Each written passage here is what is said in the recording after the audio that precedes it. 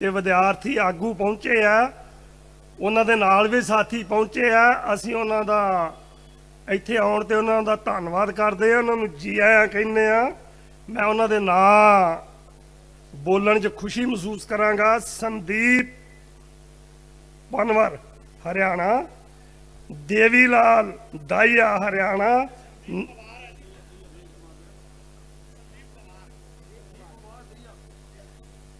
ਮੈਂ ਗਲਤ ਨਹੀਂ ਬੋਲਿਆ ਉਦਾਂ ਇਹ ਠੀਕ ਕਰ ਲਈ ਪੁਆਰ ਕਹਿ ਦੇਣਾ ਮੈਂ ਤੁਹਾਨੂੰ ਬਾਅਦ ਚ ਪੜਾਉਣਾ ਵੀ। ਅੱਛਾ। ਨਵਦੀਪ ਸਿੰਘ, ਹਰਿਆਣਾ। ਰੇਸ਼ਮ ਸਿੰਘ, ਪੰਜਾਬ। ਅਮਰਤਪਾਲ ਸਿੰਘ, ਪੰਜਾਬ। ਤੇ ਹੁਣ ਇਹਨਾਂ ਚੋਂ ਰੇਸ਼ਮ ਸਿੰਘ, ਜਿਹੜੇ ਪੰਜਾਬ ਤੋਂ ਨੇ, ਉਹ ਤੁਹਾਨੂੰ ਸੰਬੋਧਨ ਕਰਨਗੇ ਰੇਸ਼ਮ ਸਿੰਘ ਜੀ। ਆਓ ਜੀ। ਹਾਂਜੀ? ਮੈਂ ਕਿਹਾ ਇਹਨਾਂ ਨੂੰ ਬੁਲਾ ਕੇ ਤੁਹਾਨੂੰ ਸਟੇਜ ਤੇ ਦੇ ਕੇ ਚੱਲੇ ਅਸੀਂ। ਹਾਂਜੀ।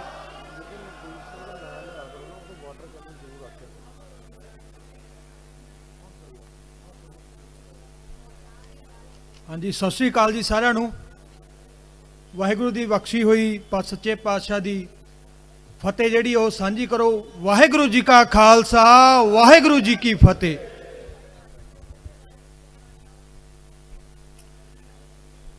ਅਸੀਂ ਨੌਜਵਾਨ ਤੇ ਸਾਡੇ ਬਜ਼ੁਰਗ, ਮਾਤਾ, ਭੈਣਾਂ, ਪੰਜਾਬ ਤੋਂ ਸੰਘਰਸ਼ ਇੱਕ ਉੱਠਿਆ, ਬਹੁਤ ਵੱਡੀ ਲਹਿਰ ਉੱਠੀ ਹੈ। ਉਹਦੇ ਵਿੱਚ ਸ਼ੁਰੂ ਤੋਂ ਬਹੁਤ ਵੱਡੀ ਸੁਚੱਜੇ ਢੰਗ ਨਾਲ ਸਾਡੇ ਆਗੂਆਂ ਦੇ ਰਹਿਨਮਾਈ ਲੜਦੇ ਲੜਦੇ ਦਿੱਲੀ ਦੀਆਂ ਬਰੂਹਾਂ ਤੇ ਅਸੀਂ ਪਹੁੰਚੇ ਹਾਂ। ਇਸ ਧਰਨੇ ਦੇ ਵਿੱਚ ਅਸੀਂ, ਮੈਂ 10 ਅਗਸਤ ਤੋਂ ਜਦੋਂ ਬਠਿੰਡੇ ਦੇ ਵਿੱਚ ਜੇਲ੍ਹ ਪਰ ਅੰਦੋਲਨ ਹੋਇਆ ਸੀ, ਉਦੋਂ ਤੋਂ ਇਸ ਅੰਦੋਲਨ ਦੇ ਵਿੱਚ ਦਿਨ ਰਾਤ ਇੱਕ ਕੀਤਾ ਹੋਇਆ, ਜੁੜੇ ਹੋਏ ਹਾਂ। ਅਸੀਂ ਅੱਜ ਸਿੱਧੇ ਆ ਕੇ ਇੱਥੇ ਸਟੇਜ ਤੇ ਬੋਲਣ ਨਹੀਂ ਲੱਗੇ। ਤਾਂ ਇਸ ਧਰਨੇ ਦੇ ਜਿਹੜੇ ਮੇਨ ਦੋ ਪੜਾਅ ਨੇ, ਇੱਕ 26 ਤੋਂ ਪਹਿਲਾਂ ਦਾ ਤੇ ਇੱਕ 26 ਤੋਂ ਬਾਅਦ ਦਾ। 26 ਦੇ ਪੜਾਅ ਤੋਂ ਪਹਿਲਾਂ ਜਦੋਂ ਤੋਂ ਪੰਜਾਬ ਤੋਂ ਧਰਨਾ ਇੱਥੇ ਉੱਠਿਆ ਹੈ ਤੇ ਇੱਥੋਂ ਤੱਕ ਬਨੂਹਾ ਤੱਕ ਪਹੁੰਚਿਆ ਬੜੀ ਚੜ੍ਹਦੀ ਕਲਾ ਦੇ ਵਿੱਚ ਸੀ, ਬੜਾ ਜੋਸ਼ੋ ਹਵੋਸ਼ ਦੇ ਨਾਲ ਇੱਥੇ ਪਹੁੰਚਿਆ ਤੇ ਸਾਡਾ ਦਬਾਅ ਸੀ, ਸਾਡੇ ਲਰਕਰੇ ਦੇ ਨਾਲ ਇਹਨਾਂ ਦੀਆਂ ਲੱਤਾਂ ਜਿਹੜੀਆਂ ਕੰਮਦੀਆਂ ਸੀ ਸਰਕਾਰ ਦੀਆਂ। ਤੇ 26 ਤੋਂ ਬਾਅਦ ਦਾ ਜੋ ਇਨਸੀਡੈਂਟ ਹੋਇਆ, ਉਹਦੇ ਵਿੱਚ ਸਾਡੇ ਲਈ ਬਹੁਤ ਮਾਣ ਤੇ ਖੁਸ਼ੀ ਵਾਲੀ ਗੱਲ ਇਹ ਹੈ ਕਿ ਜੋ ਸਾਡਾ ਧਰਨਾ ਉਹ ਛੋਟਾ ਨਹੀਂ ਹੋਇਆ, ਸਾਡਾ ਧਰਨਾ ਬਹੁਤ ਵੱਡਾ ਰੂਪ ਧਾਰਨ ਕਰ ਗਿਆ ਉਹ ਪੰਜਾਬ ਤੇ ਹਰਿਆਣਾ ਦਾ ਨਹੀਂ ਯੂਪੀ ਰਾਜਸਥਾਨ ਕੱਲ ਤੁਸੀਂ ਰੇਲ ਰੋਕੋ ਦੇਖਿਆ ਹੋਊਗਾ, ਉਹਦੇ ਵਿੱਚ ਵੈਸਟ ਬੰਗਾਲ ਤੇ ਬਿਹਾਰ, ਉਹਦੇ ਵਿੱਚ ਐਡ ਹੋਏ ਨੇ। ਇੱਥੋਂ ਤੱਕ ਹੀ ਨਹੀਂ, ਇਹ ਸਾਡੀ ਜਿਹੜੀ ਸਪੋਰਟ ਹੈ, ਉਹ ਅੰਤਰਰਾਸ਼ਟਰੀ ਪੱਧਰ ਤੱਕ ਪਹੁੰਚੀ। ਤਾਂ ਸਾਡਾ ਜਿਹੜਾ ਧਰਨਾ ਅੱਜ ਦੀ ਘੜੀ ਦੇ ਵਿੱਚ ਅੰਤਰਰਾਸ਼ਟਰੀ ਬਣ ਚੁੱਕਾ ਹੈਗਾ, ਪੂਰੇ ਦੁਨੀਆ ਦੇ ਵਿੱਚ ਇਹਦਾ ਇੱਕ ਬੋਲਬਾਲਾ ਹੈਗਾ।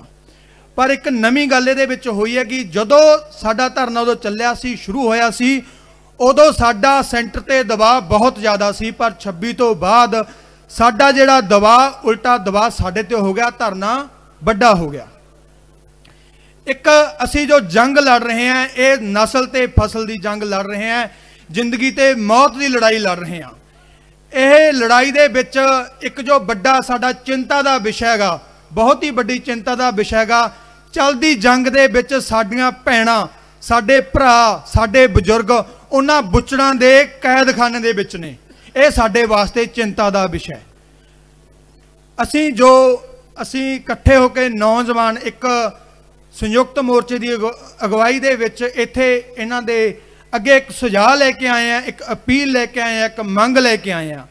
ਸਾਡੀ ਸ਼ਕਤੀ ਅੱਜ ਇੰਨੀ ਵਿਸ਼ਾਲ ਹੈ, ਇੰਨੀ ਵੱਡੀ ਹੈ, ਸਾਡੇ ਆਗੂਆਂ ਦੇ ਇੱਕ ਹੁਕਮ ਦੇ ਵਿੱਚ, ਇੱਕ ਹੁਕਮ ਦੇ ਨਾਲ ਪੂਰੇ ਭਾਰਤ ਦੀਆਂ ਰੇਲਾਂ ਰੁਕ ਜਾਂਦੀਆਂ ਨੇ। ਉੱਥੇ ਬੰਦਾ ਬਿਠਾਉਣ ਦੀ ਲੋੜ ਨਹੀਂ, ਬੇਸ਼ੱਕ ਸਾਡੇ ਆਗੂ ਉੱਥੇ ਇੱਟ ਧਰ ਦੇਣ, ਉੱਥੋਂ ਦੀ ਰੇਲ ਨਹੀਂ ਟੱਪਦੀ।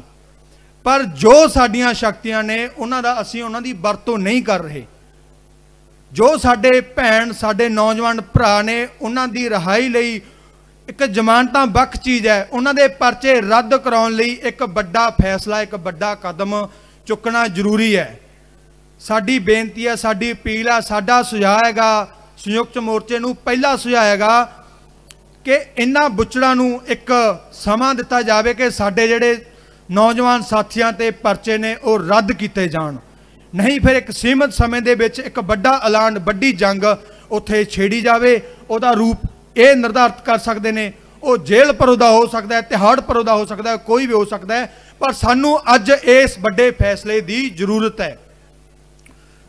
ਦੂਸਰਾ, ਅੱਜ ਜੋ ਸਾਡੀ ਸ਼ਕਤੀ ਹੈ, ਇੱਕ ਪਾਸੇ ਨੌਜਵਾਨ ਨੇ, ਇੱਕ ਪਾਸੇ ਬਜ਼ੁਰਗ ਨੇ, ਦੋਨਾਂ ਦਾ ਜੋ ਸੁਮੇਲ ਹੋਇਆ ਸਾਰੇ ਧਰਮਾਂ ਦਾ ਸੁਮੇਲ ਹੋਇਆ ਉਹ ਸਾਡੀ ਵੱਡੀ ਸ਼ਕਤੀ ਹੈ। ਪਰ ਜਦੋਂ ਸਾਡੀ ਲੜਾਈ ਦੇ ਵਿੱਚ ਪਹਿਲਾਂ ਸਾਡੇ ਬੁਲਾਰੇ ਬੋਲ ਕੇ ਗਏ ਨੇ ਕਲੀਅਰ ਕਰਕੇ ਗਏ ਨੇ, ਸਾਡਾ ਪਹਿਲਾ ਗੋਲੀ ਨਾਲ ਲੱਗਣ ਵਾਲਾ ਸ਼ਹੀਦ ਨਵਰੀਤ ਸਿੰਘ, ਉਹਨੂੰ ਹਜੇ ਤੱਕ ਸਾਡੀ ਸਟੇਜ ਦੇ ਉੱਤੋਂ ਸ਼ਹੀਦ ਸ਼ਹੀਦ ਨਹੀਂ ਐਲਾਨਿਆ ਗਿਆ ਜਾਂ ਉਹਦੇ ਲਈ ਵੱਡਾ ਸ਼ਹੀਦੀ ਸਮਾਗਮ ਨਹੀਂ ਕੀਤਾ ਗਿਆ। ਸਾਡੀ ਜੋ ਲੜਾਈ ਹੈ, ਇਹ ਫਸਲਾਂ ਤੇ ਨਸਲਾਂ ਦੀ ਹੈ, ਇਹਦੇ ਵਾਸਤੇ ਜਾਨਾਂ ਦੇਣੀਆਂ ਪੈਣੀਆਂ। ਸਾਡਾ ਨੌਜਵਾਨ ਕੁਰਬਾਨੀਆਂ ਦੇਣ ਤੋਂ ਨਹੀਂ ਡਰਦਾ ਸਾਡਾ ਨੌਜਵਾਨ ਗੋਲੀਆਂ ਤੋਂ ਨਹੀਂ ਡਰਦਾ, ਸਾਡਾ ਨੌਜਵਾਨ ਡਰਦਾ ਹੈਗਾ ਗਦਾਰੀਆਂ ਦੇ ਲੇਬਲਾਂ ਤੋਂ। ਸਾਨੂੰ ਸਾਡੇ ਜੋ ਆਗੂ ਨੇ, ਜੇ ਸਾਡਾ ਕੋਈ ਬੰਦਾ ਸ਼ਹੀਦ ਹੁੰਦਾ ਨੌਜਵਾਨ ਸ਼ਹੀਦ ਹੁੰਦਾ ਤਾਂ ਉਹਦੇ ਨਾਲ ਮੋਢਾ ਨਾਲ ਮੋਢਾ ਜੋੜ ਕੇ ਖੜਨ, ਉਹਦੇ ਪਰਿਵਾਰ ਨਾਲ ਖੜਨ, ਉਹਦਾ ਸ਼ਹੀਦੀ ਦਾ ਮੁੱਲ ਪਾਇਆ ਜਾਵੇ। ਜੇ ਕੋਈ ਮਾਂ ਦਾ ਪੁੱਤ ਸ਼ਹੀਦ ਹੁੰਦਾ ਤਾਂ ਉਹਦਾ ਇੱਕ ਵੱਖਰਾ ਰੁਤਬਾ ਹੋਵੇ। ਇੱਥੇ ਸਟੇਜ ਦੇ ਲਾਗੇ ਇੱਕ ਵੱਡੀ ਫੋਟੋ ਹੋਵੇ ਉਹਦੀ, ਜਿੱਥੇ ਵੱਡਾ ਉਹਨੂੰ ਸਾਡੀ ਸ਼ਰਧਾਂਜਲੀ ਦਿੱਤੀ ਜਾਵੇ। ਇਹ ਸਾਡਾ ਇੱਕ ਦੂਸਰਾ ਅਸਰ ਹੈਗਾ, ਜੋ ਨੌਜਵਾਨਾਂ ਤੇ ਅੱਜ ਜਿਹੜਾ ਮੋਰਚਾ ਹੈਗਾ, ਉਹਦੇ ਵਿੱਚ ਥੋੜਾ ਬਹੁਤ ਬਖਰੇਵਾ ਬਹੁਤ ਥੋੜਾ ਸੀਗਾ। ਪਰ ਉਸ ਨੂੰ ਇੱਕ ਮੀਡੀਆ ਨੇ ਵੱਡੇ ਰੂਪ ਦੇ ਵਿੱਚ ਪੇਸ਼ ਕੀਤਾ ਤੇ ਸਾਡੀਆਂ ਦੋ ਧਿਰਾਂ ਬਣਾਤੀਆਂ। ਅੱਜ ਇੱਕ ਅਸੀਂ ਸੰਧੀ ਕਰਨ ਆਏ ਆ ਇਹਨਾਂ ਸੁਝਾਵਾਂ ਤੇ, ਇਹਨਾਂ ਮੰਗਾਂ ਤੇ। ਜੇ ਸਾਡੀਆਂ ਇਹਨਾਂ ਮੰਗਾਂ ਨੂੰ ਮੰਨਿਆ ਜਾਊਗਾ ਤਾਂ ਨੌਜਵਾਨ ਪੰਜਾਬ ਦੇ ਵਿੱਚੋਂ ਦੂਜੀ ਕਾਲ ਦੇ ਵਿੱਚ ਪੰਜਾਬ ਨਹੀਂ, ਪੰਜਾਬ ਹਰਿਆਣਾ ਯੂਪੀ ਦੇ ਵਿੱਚੋਂ ਇੱਥੇ ਵੱਧ ਚੜ ਕੇ ਹਿੱਸਾ ਲਊਗਾ। ਸਾਨੂੰ ਪਤਾ ਹੈਗਾ ਜੋ ਇਸ ਦੇਸ਼ ਦੀ, ਜਿਹੜੇ ਦੇਸ਼ ਦੇ ਅਸੀਂ ਤਿਰੰਗੇ ਦੀ ਸਨਮਾਨ ਦੀ ਗੱਲ ਕਰਦੇ ਆਂ ਉਸ ਤਿਰੰਗੇ ਦੀ ਰਾਖੀ ਇਹੀ ਨੌਜਵਾਨ ਉੱਥੇ ਪੰਜਾਬ ਹਰਿਆਣਾ ਸਭ ਤੋਂ ਵੱਧ ਉੱਥੇ ਡਟ ਕੇ ਕਰਦਾ ਹੈਗਾ। ਇਹਨਾਂ ਦੀ ਰਾਖੀ ਵੀ ਉਹੀ ਕਰਦੇ ਨੇ। ਪਰ ਸਾਨੂੰ ਜੋ ਮਾਨ ਸਨਮਾਨ ਮਿਲਣਾ ਚਾਹੀਦਾ ਉਹਦੀ ਅਸੀਂ ਗੁਜ਼ਾਰਿਸ਼ ਕਰਦੇ ਹਾਂ। ਤੀਸਰਾ ਸਾਡਾ ਸਜਾਏਗਾ ਸਾਡੇ ਨੌਜਵਾਨਾਂ ਤੇ ਧੜਾ ਧੜ ਪਰਚੇ ਕੀਤੇ ਜਾ ਰਹੇ ਨੇ। ਕੱਲ 200 ਫੋਟੋ ਹੋਰ ਐਲਾਨ ਦਿੱਤੀ ਗਈ ਹੈਗੀ। ਸਾਡੇ ਘਰਾਂ ਦੇ ਵਿੱਚ ਛਾਪੇ ਮਾਰੇ ਗਏ ਜਾ ਰਹੇ ਨੇ। ਸੰਯੁਕਤ ਮੋਰਚਾ ਆਪਣੀ ਸ਼ਕਤੀ ਨੂੰ ਆਪਣੀ ਜਿਹੜੀ ਪਾਵਰ ਹੈ ਉਹਦਾ ਇਸਤੇਮਾਲ ਕਰਦਾ ਹੋਇਆ। ਸਾਡੇ ਪੰਜਾਬ ਦੇ ਮਾਨਯੋਗ ਮੁੱਖ ਮੰਤਰੀ ਜਾਂ ਜੋ ਵੀ ਜਿਸ ਸਟੇਟ ਦਾ ਮੁੱਖ ਮੰਤਰੀ ਆ, ਉਹਨੂੰ ਅਪੀਲ ਕਰੇ। ਜੇਕਰ ਦਿੱਲੀ ਦੀ ਪੁਲਿਸ ਸਾਡੇ ਪੰਜਾਬ ਦੇ ਵਿੱਚ, ਸਾਡੇ ਕਿਸੇ ਘਰ ਦੇ ਵਿੱਚ ਵੜਦੀ ਹੈ, ਸਾਡਾ ਕੋਈ ਨੌਜਵਾਨ ਪੰਜਾਬ ਤੋਂ ਚੱਕਿਆ ਜਾਂਦਾਗਾ, ਤਾਂ ਉਹਦਾ ਜ਼ਿੰਮੇਵਾਰ ਕੈਪਟਨ ਖੁਦ ਹੋਊਗਾ, ਸਾਡਾ ਮੁੱਖ ਮੰਤਰੀ ਆਪ ਹੋਊਗਾ। ਉਹ ਇਹ ਸਾਡੀ ਜਿਹੜੀ ਸ਼ਕਤੀ ਹੈਗੀ।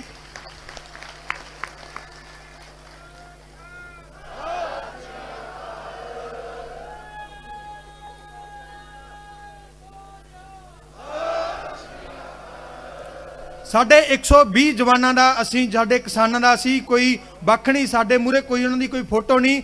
ਸਾਡੇ ਲਈ ਸਾਰੇ ਇੱਕ ਨੇ, ਸਾਡੇ ਲਈ ਸਾਰੇ ਇਕੱਠੇ ਨੇ। ਸਾਡੇ ਕਿਸੇ ਨੌਜਵਾਨ ਦਾ ਕਿਸੇ ਵੀ ਜੋ ਵੀ ਫੋਟੋ ਰਿਲੀਜ਼ ਹੋਈ ਹੈ, ਕਿਸੇ ਦੇ ਘਰੇ ਨੋਟਿਸ ਗਿਆਗਾ ਉਸ ਦਾ ਬਾਲ ਬਿੰਗਾ ਨਹੀਂ ਹੋਣਾ ਚਾਹੀਦਾ ਹੈ ਠੋਕ ਕੇ ਸਟੈਂਡ ਲਵੇ। ਅੱਜ ਸਾਡੇ ਜਿਹੜੇ ਆਗੂ ਨੇ, ਇੱਕ ਜਿਹੜਾ ਫਰਮਾਨ ਇੱਥੋਂ ਮੁੱਖ ਮੰਤਰੀਆਂ ਨੂੰ ਜਾਰੀ ਕਰਨ, ਸਾਡੇ ਨੌਜਵਾਨਾਂ ਦੀ ਰੱਖਿਆ ਸਾਡੀ ਪੁਲਿਸ ਕਰੇ, ਸਾਡੇ ਲੋਕ ਕਰਨ ਉੱਥੇ। ਇਹ ਸਾਡੀ ਮੰਗ ਹੈ। ਇੱਕ ਚੌਥਾ ਹੈਗਾ, ਉਹਦੇ ਵਿੱਚ ਸਾਡੇ ਸਟੇਜ ਨੇ ਸਾਡੇ ਆਗੂਆਂ ਨੇ ਬੈਠ ਕੇ ਵਿਚਾਰਨ ਦੀ ਪਿੱਛੇ ਗੱਲ ਕੀਤੀ ਹੈਗੀ। ਉਹ ਵੀ ਥੋੜਾ ਜਿਹਾ ਸਾਡਾ ਬਖਰੇਮ ਹੈ, ਉਹ ਅਸੀਂ ਗੱਲ ਕਰਾਂਗੇ। ਇੱਕ ਚੌਥਾ ਸਾਡਾ ਸੁਝਾਅ ਹੈਗਾ। ਤੇ ਬਾਕੀ ਮੇਰਾ ਵੀਰ ਨਵਦੀਪ ਨਵਦੀਪ ਹੈ, ਵਾਟਰ ਕੈਨਨ ਵਾਲਾ ਵੀਰ ਕਹਿੰਦੇ ਆ, ਇਹ ਵੀ ਜਿਹੜੀ ਗੱਲ ਹੈ ਉਸ ਨੂੰ ਪੂਰੀ ਕਰੂਗਾ। ਗੱਲਾਂ ਸਾਡੀਆਂ ਇੱਕੋ ਨੇ, ਬਾਰ-ਬਾਰ ਦੋਨੋਂ ਇੱਕੋ ਹੀ ਗੱਲਾਂ ਨੂੰ ਰੱਖਾਂਗੇ, ਤਾਂ ਸ਼ਾਇਦ ਤੁਹਾਨੂੰ ਲੱਗੂਗਾ ਵੀ ਸਮਾਂ ਵੀ ਵੱਧ ਲੈ ਜਾਾਂਗੇ, ਤੇ ਗੱਲ ਸਾਡੀ ਉਹੀ ਹੈਗੀ।